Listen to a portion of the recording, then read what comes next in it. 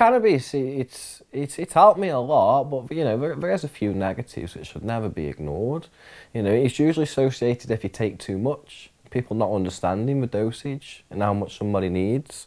I mean, you only need uh, first uh, someone who's taking it for the first time, taking a cannabis oil, and for poorly and through chemo, if you just need the tiniest, tiniest drop, if you really don't need much at all, and too much, that's what brings on people getting nauseous and paranoia and you know just people being being scared and it can put them off cannabis and you know it can give cannabis a bad name but it's only because people don't understand how to use it and have been miseducated about it I think.